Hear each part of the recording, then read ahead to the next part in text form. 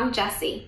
This is Kukui, and that's Paige. And today we're going to be telling you about a saint from Stories of the Saints by Carrie Wallace, illustrated by Nick Thornborough. Today we're going to learn about John Nepomucene.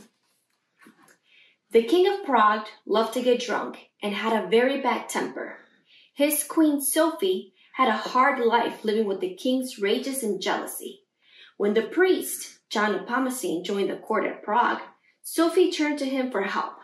She told John her troubles and her sins, and he promised her that God knew and forgave her. But the king noticed that Sophie was happier since John arrived, and it made him jealous. He called John in and demanded that John tell him all of Sophie's secrets. I can't break my vow to God, John told the king. I promise never to share the secrets of anyone who comes to me to confess their sins to God. So the king threw John in jail. When John still wouldn't say a word about Sophie's confessions, the king ordered John tortured on the rack over a fire. Before the king could harm John, Sophie persuaded him to release John from prison. But now the king had a new plan. The abbot of the beautiful abbey at Kladruby was near death, and the king wanted to make one of his friends the new abbot.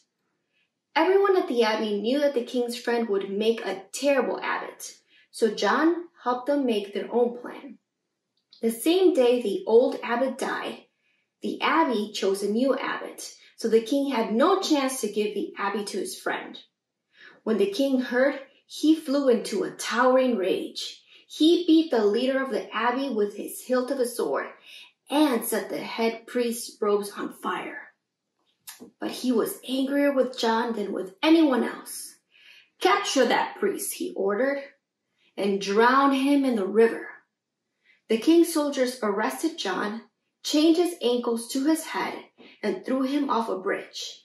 But as John disappeared under the waves, seven stars appeared over the dark water where he sank.